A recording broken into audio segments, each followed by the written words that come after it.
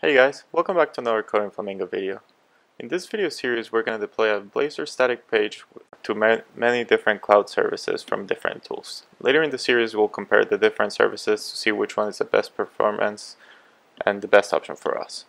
In this video we're going to look at deploying our static side from Visual Studio to an Azure Windows web application. So let's get started. So this is a really easy way to kind of like test that everything works in the cloud and make sure that your site is working and I recommend only doing this for development.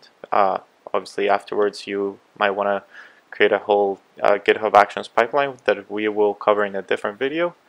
So let's just get started. So we have our static uh, Blazor application, kind of like the regular application with the weather data, the usual template. We're just going to go to publish and then here it's going to ask us where to publish. So in this case, we're going to publish to Azure, and then we're going to select Windows, and different videos will check out different options. Now we're going to create next, and then here we can see that we have some web applications. In this case, we're just going to create a new one. I, I want to do the whole thing because one of the cool things is it'll create all the resources you need. So in here, we're just going to create a new Blazor um, resource group and I'm just going to add it to my hosting plan just so it doesn't cost me more money. Uh, and we're just going to call it regular Blazor static deploy. So we're going to just to make sure that we get the right URL and we're just going to create it.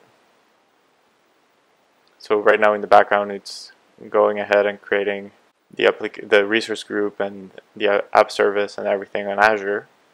So now we can see here the web app has been created, so we're going to select it and click Finish.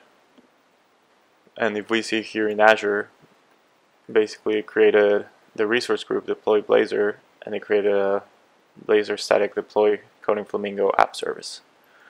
So now if we go here, right, if we go here right now, it's probably going to be the default uh, website.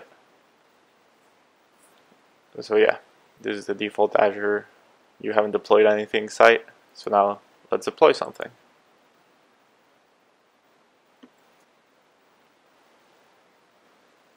And as we can see now we're in the Azure website and we have our application.